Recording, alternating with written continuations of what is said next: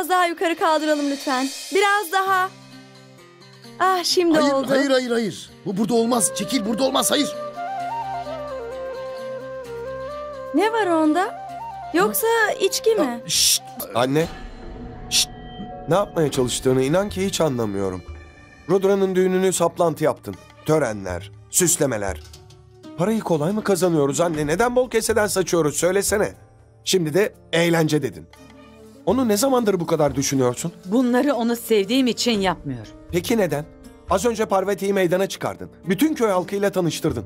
Başka neler yapacaksın? Allah herkese akıl dağıtırken seni kapının arkasına itivermişler herhalde. Meydandaki kadınlar Parvati'yi doğru dürüst göremediler. Yani aslında herkes görmedi. Ben de herkesi eve davet ettim. Bana kendin söyledin. Sağda solda elinde onun fotoğrafıyla gezen adamlar var. O fotoğrafı sen ve arkadaşların dışında gören birileri daha olamaz mı yani? Belki gelirler. Meydanda bağırdım herkes duysun diye. Bir ihtimal belki sesim onlara kadar ulaşmıştır. Kalkıp eğlenceye gelirler. Evet çok para saçıyoruz. Ama inan her saniye Allah'a dua ediyorum. Sonunda biri çıksın ve Parvati tanısın diye. Amacımı hala anlamadın mı? Hadi git. Hazırlıklarla ilgilen. Peki anne. Neden bilmem ama içimden bir ses. Bugün biri bu eve gelecek ve Parvati'yi tanıyacak diyor. Ve ben hislerimde asla yanılmam.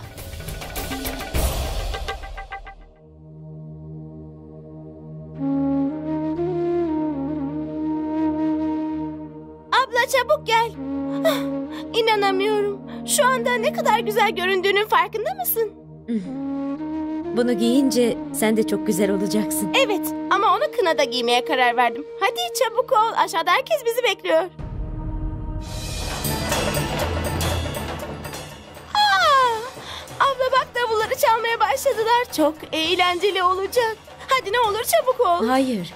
Hayır ben aşağı gelemem. Ne demek aşağı gelemem? Yani şey bununla daha işim bitmedi. Yarın bırakıp nereye gidiyorum ki? Abla gerçekten çok alemsin. Bu benim eğlencem değil ki senin. Aşağıdaki eğlence benim şalımdan çok daha önemli. Sonra da bitirebilirsin. Hadi ama çabuk ol lütfen. Birazdan müzikler ve danslar başlayacak. Çabucak havaya girersin. Abla bir şey söyleyeyim mi? Sana en güzel sürprizimi anlatmayı unutmuşum. Abiyle birlikte dans etmeniz için size bir şarkı seçtim. Çok güzel bir aşk şarkısı. Çok romantik. Suneyri. Şu anda gerçekten çok başım ağrıyor. Orada çok gürültü var biliyorsun. Gerçekten kaldıracak durumda değilim. Başın ağrıyor öyle mi? Ama abla bu eğlence senin için biliyorsun. Evet. Kendimi biraz daha iyi hissedeyim hemen geleceğim canım. Peki. Abla ne diyeceğim? Maitri yengeye söyleyeyim sana ağrın için bir ilaç getirsin. Hayır hayır. Biraz uyuyayım geçer canım. Bir şeyim kalmaz. Sen bilirsin abla. Çabuk gel ama.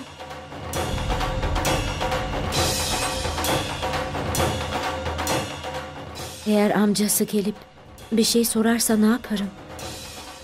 Ona bu kadar rahat yalan söyleyemem. Ama aşağı inmeyi de gerçekten istemiyorum. O canavara sarılıp dans etmeyi bırak. Yanına yaklaşmak bile istemiyorum.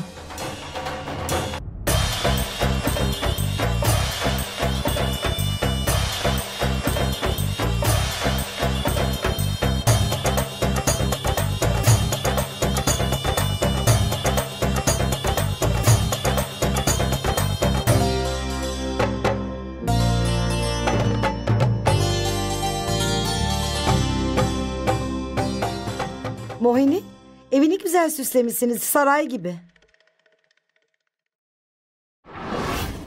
Bugün biri mutlaka gelecek. Rudra'nın içindeki eğlence isteğini bir anda yerle bir edecek biri gelecek.